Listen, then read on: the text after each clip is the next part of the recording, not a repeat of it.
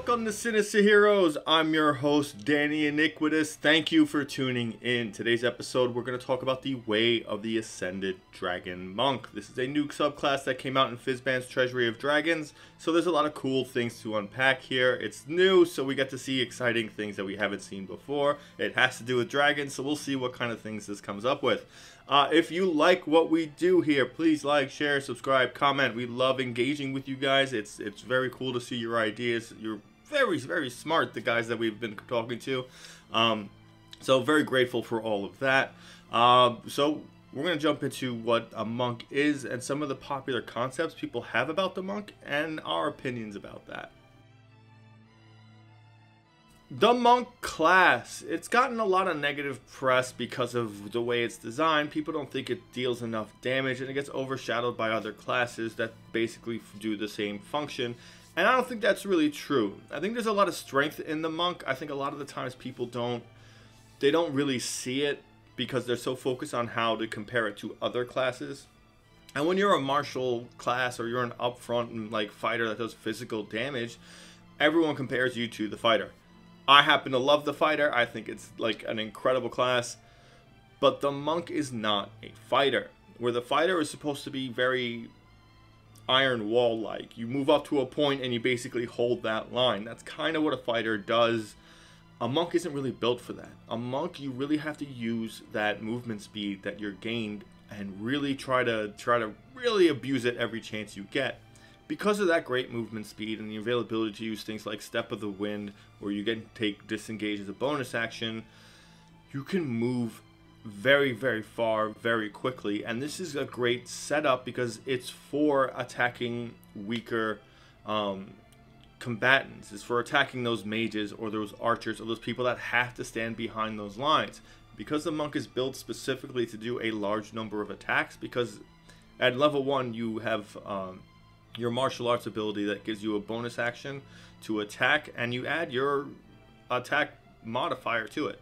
So it's a better form of two weapon fighting, and you get it right off the bat for being a monk. So taking that into combat, you run in and you start pummeling these things behind lines. If it's not a very hard suited person, you're going to do a lot of damage to them very, very quickly. And the availability of Flurry of Blows helps to extend the actual danger factor of what you do. You really want to go after casters because it's a great way to break their concentration on spells because they'll have to make repeated rolls it's bettering your chances to, to break that concentration and save a teammate or stop a debilitating effect. That's really where the strength of the monk is. It's really on a focus standpoint. Like you really got to get into it. You got to be very courageous and be willing to go deep behind the lines because that's what's going to make you really effective. Um, Step of the Wind doubles your jump distance. You can theoretically jump over and around other enemies, so that's a great way to use it it's important that you use that move speed because a lot of people see that and just go, well, you can just move 30 feet normally with most races, so you're not really getting much, but you really don't understand what that means when you're climbing and when you're affected by difficult terrain and you are able to run through that and get to a point to, to help your teammate. Uh, it's a little risky, but again, you got to be courageous to do so. That is the strength of the monk. You get multiple attacks, you get multiple stunning strikes. Yes, you have a resource, but you got to be very, very persistent on using your resource. A lot of people tend to think, oh, it's such a few number. I gotta, I gotta keep them as, as much as possible and, and hold on to them. I don't want to waste them in the point where I don't need them. Burn them. Just, just do it because you. The more you use these abilities, a, the more awesome you'll feel because you're a monk and you get to do these things that nobody else can. And b, you don't want to leave the day with something left in the chamber. And c, if you want to feel like a monk, you gotta really take these chances. That being said, uh, I generally don't really find myself being dragged to any particular subclass of the monks. So it's really a little hard for me to, to really get like amped up. But now with the, the Fizban's Treasury of Dragons, we have a very new um, subclass, and it has a lot of cool things that do it that really, really kind of change the way you would see a monk. And it's a very cool concept. I'm very excited about it. So we're going to jump right into the abilities you get with the Way of Ascended Dragon. So when you select this subclass at level 3, it gives you a couple of cool options as to how you gain these abilities or you trained under a dragon or what brought you to this kind of type of fighting style or martial art. Uh, again, it's one of those things where like it's heavily influenced that you had a lot of schooling and monastic traditions to do this because it's the monk class. You don't really have to follow that to the T. You can just say you were raised by dragons and they taught you how to fight based on the limits of your form, of your physical form. That being said, it's pretty cool. Uh, right off the bat, you get Draconic Disciple. Uh, at third level, you can channel Draconic Power to magnify your presence and imbue your unarmed strikes with the essence of Dragon's Breath. You gain the following benefits. Uh, one is Draconic Presence. If you fail a Charisma Intimidation or Charisma Persuasion check, you can use your reaction to re-roll the check as you tap into the mighty presence of dragons. Once this feature turns into a failure into a success, you can't use it again until you finish a long rest. You can use this every time until you succeed with it. You're not really a charisma class, and there will be times where you need to make that persuasion check, or you might need to make that intimidation check. It's good to have a free reroll. It, uh, that's really what it is, and it can change the course of what's going on. It gives you an opportunity to do that, and you don't have to super heavily invest in charisma, uh, especially if you don't have a charisma caster or that person is incapacitated or you're fighting for that person's survival. Uh, this is a great way to do that. It's not as important as some of the other things you'll get. Uh, it is great to have a rerolls basically advantage on a check until it works. Uh, so keep it in your back pocket. Use it every time you can. Don't worry too much about it. It's a good way to feel that draconic aura that is incorporated with dragons. Anything that has a dragon has this like powerful, intimidating presence, and it's reflectant in everything. And it's nice to see that they keep that continuity with everything. Uh, the second ability is Draconic Strike. When you damage a target with an unarmed strike, you can change the damage type to acid, cold, fire, lightning, or poison. I started drooling when I saw poison. Uh, I love the damage type, though I know it is heavily uh, not good to use. Uh, but you're a variant human. Maybe use the poison or feat as your uh, feat of choice. And here you go. You're literally hitting people with poison. Uh, I love, love that theory. I love the way it just it tastes and feels so good. Again, I'd probably try and talk to my DM, see if I can incorporate that with my uh, my weapons of choice, and then I could finally wield the poison dagger I've been dreaming about since uh, the day I was born. Uh, so it's it's cool. I like it. It's very effective. If you're a kind of person that's worried about damage types, you can switch it. It does not say that it has to be permanent. You can switch it whenever you want. It says when you damage a target with an unarmed strike, you change the damage type. So if you're fighting us, a lot of stuff that's immune to lightning, switch it up to acid, cold, fire, whatever it is. It gives you options and it's great because you get it at level 3. So even if you have to wait till you're higher level to get your fists to be considered magical weapons, you still overcome that really early. So take that into consideration. It's a very, very good boost, especially if you find yourself in an area where you weren't supposed to be. Maybe you and your party walked into a higher level area than the than the module or campaign had, you know, presented for you, and you're in a situation where you're nobody else is hitting hard, and it's mainly because no one has magic weapons or the availability to overcome resistances. That's your moment to be a hero. You know, like you can do a lot with that, and it's cool to be smart and to be like to incorporate what that means for your character. Maybe you were trained by a specific dragon, but because of it, you learn to incorporate all these different aspects. And maybe that can be like a focal point. Maybe that could be something about your character class or your character that has a connection to, to different types of dragons. Or maybe they're completely insane and they have multiple personalities and each one is associated with a different dragon type. And you can use that to kind of reflect on your personality and switch in between them. Like I like being creepy, I like being weird, having an acid voice in my head spew- spewing like these dark things, making me do these things. I, I'm in. You know, I'm sold. Like I think you can do a lot of cool stuff with it, and the fact that it can seep through your pores and become this gross, like like hit, like this, like this wet meat smacking sound hitting hitting a golem. You know, like it's it's it's cool and it's gross, and I really really really love it. Uh, the third ability you get from Dr- Draconic Disciple is Tongue of Dragons. You learn to speak, read, and write Draconic, or one other language of your choice take Draconic. It it just there's no reason for you not to. It makes sense. It feels good. Uh, you might not encounter Draconic as often as you would like, but it is kind of who you are. So uh, I I was sick to it just to be fully dedicated. But it's it's one of the cooler things is the fact that you get Draconic Strikes, and it's just as a standalone ability, great. The fact that you get ad, like advantage on a intimidation check, like that's awesome because I like being scary. So there is another ability you get at level 3, and we're going to talk about that right now. The other ability you gain at level 3 is Breath of the Dragon. Uh, I'm surprised you get this so early because, I mean, obviously you were expecting to get some sort of Dragon Breath ability, but to get it right off the bat when you pick this, very cool. Uh, this is a good one, so just wait. A lot of people might be a little confused as to why it's so great, but I'll get into that. Uh, at third level, you can channel destructive waves of energy like those created by the dragons you emulate. When you take the attack action on your turn, you can replace one of the attacks with an exhalation of draconic energy in either a 20 foot cone or a 30 foot line that is 5 foot wide. You make that choice. You also choose the damage type, which would be acid, cold, fire, lightning, or poison. Each creature in that area must make a dexterity saving throw against your ki save DC, taking damage of the chosen type equal to two rolls of your martial arts die on a failed save or half as much on a successful one.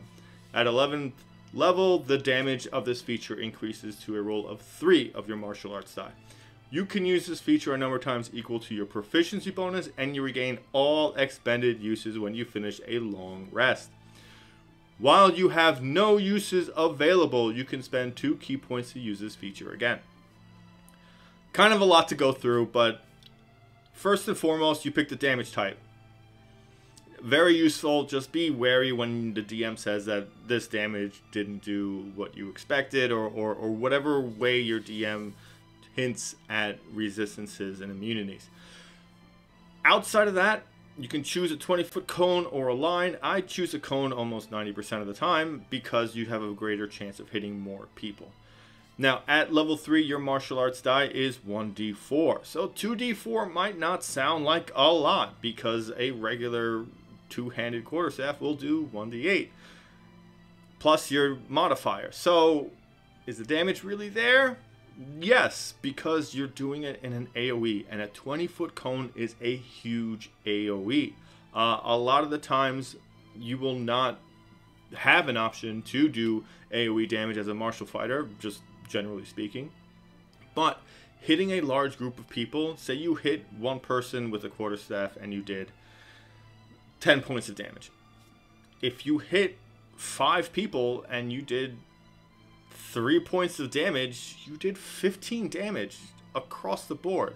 And I know taking out a creature is more beneficial because you can do the same amount of damage potentially at love with 1 HP that you could with full HP. But whittling down your opponents is important also. You will not get to a point where you'll kill everything in one shot most of the time. It's just not going to happen outside of the really early levels. But whittling down your opponents, especially when you have something that they have difficulty coming through, or maybe they're coming through a funnel, shooting that out every couple of turns will do a lot of damage and it will help to mitigate what they can do. You want to do as much damage as possible, I get that. At 11th level, it's going to be 3d8.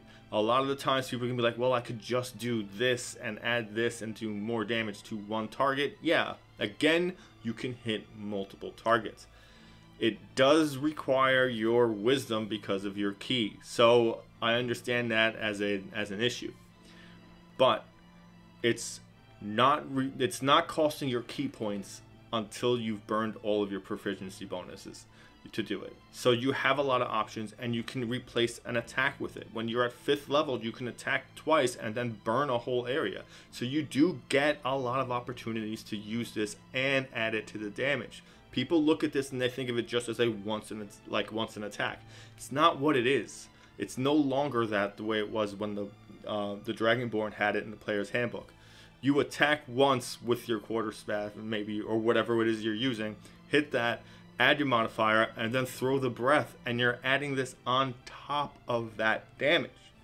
It is important that you see it that way as not just an independent attack, but as part of your combat prowess. Like you're punching and then you just turn around and just spewing breath.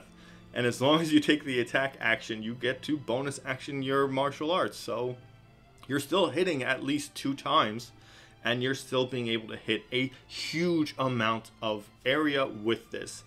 Don't negate this because of the martial arts die being relatively small. I get it, 3d10 at like the end isn't going to be wildly impressive, but when you can see what you can do in conjunction with the other attacks you're making, that's where it comes in, and that's where the availability comes into it. So don't think it's really like not as worth it. It's a very exciting ability. It's designed this way to be used somewhat regularly. You get a lot of uses with your proficiency bonus, and then if you still want to use it again, you can use your ki points, which is great because it will extend your availability to do so. At 6th level, you gain Wings Unfurled. This is an interesting one, I gotta say. I didn't expect this kind of a mechanic uh, when I was first looking through it, but I am pretty impressed with its implications. If it works like this. If you use your Step of the Wind, which gives you the availability to do a disengage or a dash as a bonus action for the cost of one ki point, and it doubles your jumping distance, you can unfurl spectral draconic wings from your back that vanish at the end of your turn. While the wings exist, you have flying speed equal to your walking speed. Uh, and you can use this a number of times equal to your proficiency bonus, and you regain all expended uses when you finish a long rest. Now, again, you can use Step of the Wind and not use this ability. So Wings Unfurled isn't automatic. You do have to choose to do this. Flying speed is interesting. Um, specifically because if you do fly up there and hit something with Stunning Strike, that is a long way to go down. Um, but as an escape or a maneuverability, it's very, very useful because again, if there's an iron wall of troops blind blocking something that you have to save or someone that's devastating your team with like spells or something, now you can just fly over it. And you get increased move speed, so it matches your move speed. So you have a lot of distance you can cover. And if you use this and you're not in melee range of anybody, you don't need to use the disengage action. So you can use the bonus action for dash, which increases your speed so you can go even further while flying. It's an escape. It's a great way to pursue somebody. It's a great way to overcome obstacles. It's a great way to, to overcome combat mechanics that might be very difficult for you and your party. It's so tactical of a point that it's a little unusual considering the monk is basically run up and fight and run away uh, you know and like do things in an intermittent kind of a fashion because you're not really designed to be frontline as a monk, and this gives you availability to supersede a lot of the limitations of movement uh, because of flying and because of what Step of the Wind does. It's one of those things. The more creative you are, the smarter you of a tactician you are, the better this ability will be for you. If you're not that creative or tactical, when you need to fly, you'll at least have the opportunity to do so, and that can be very beneficial. Specifically, if you're infiltrating, maybe you have to climb up somewhere, maybe you have to go over a wall and drop a bridge or something or whatever. This will give you the availability to do that. Importantly, this will give you the availability to do that with someone else so you're not stranded in case things go wrong or you can escape again.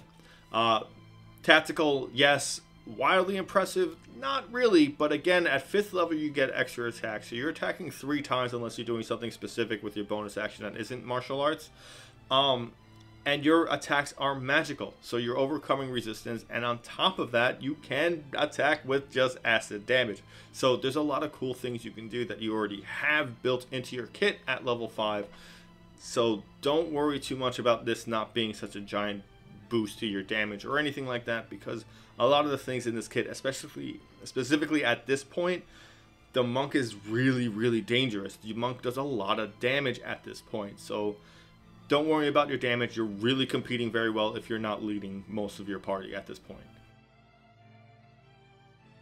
At 11th level, you gain access to Aspect of the Wyrm. This is very cool because it incorporates one of my favorite things.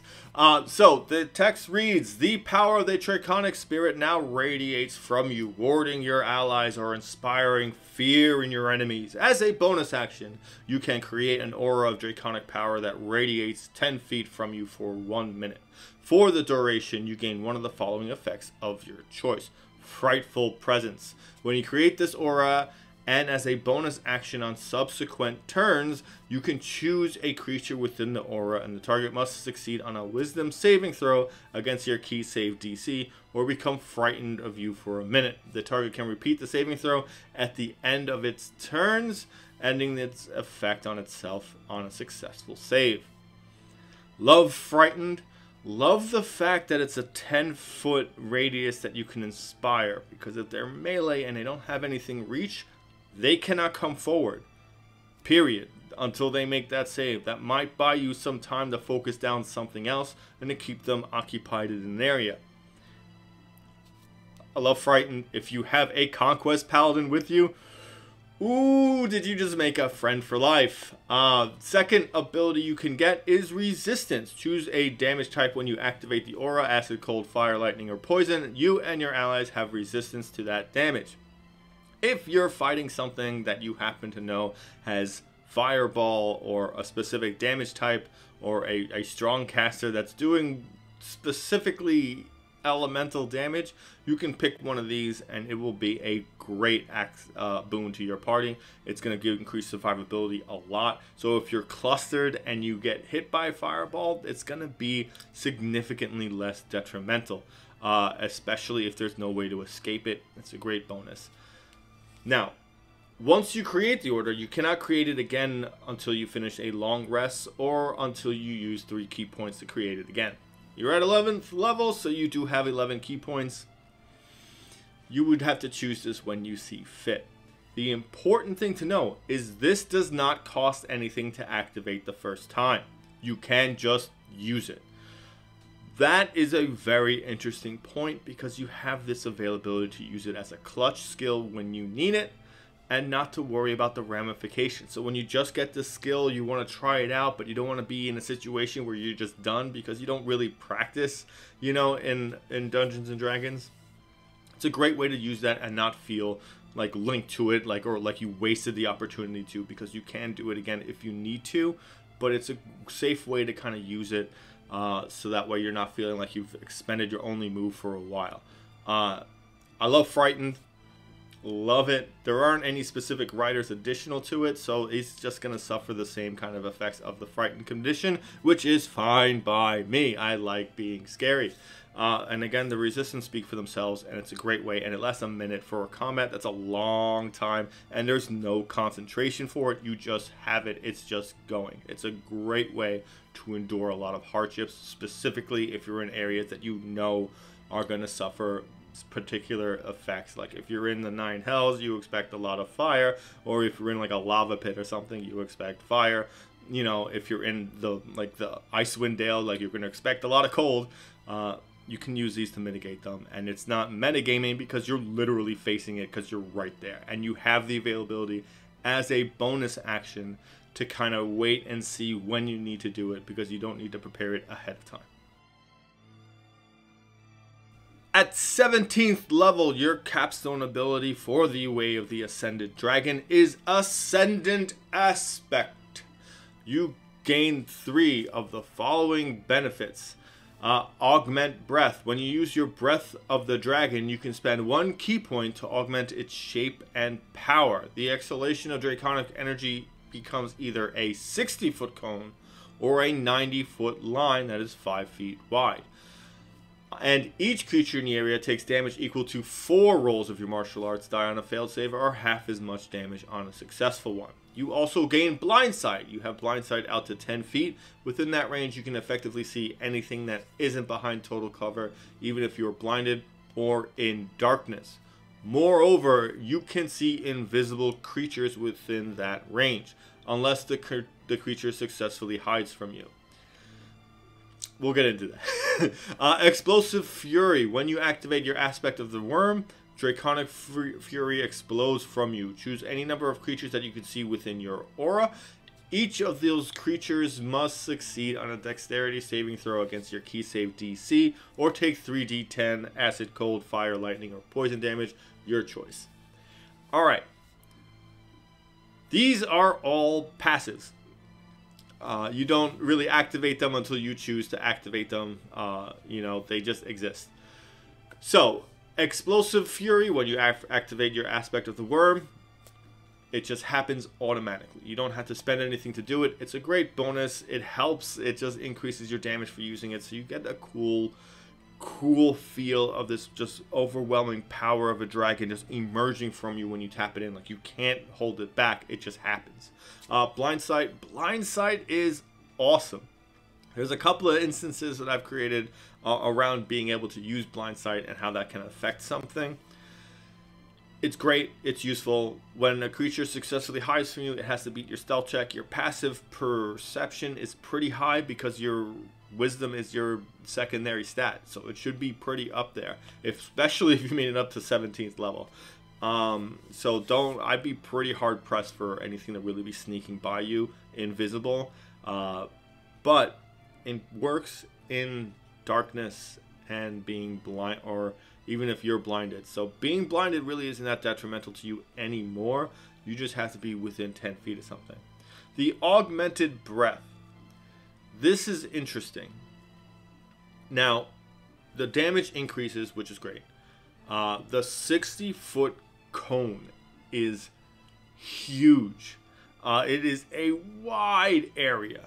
Uh, it seems more impressive in number than in actual scenarios, but if you do hit that kind of an area where you can use that effectively, you're hitting a huge amount of people uh, at the same time. Uh, normally, you really wouldn't be in a scenario where you're taking on an army by yourself, but in case you find yourself here, uh, that's really what you would use that for.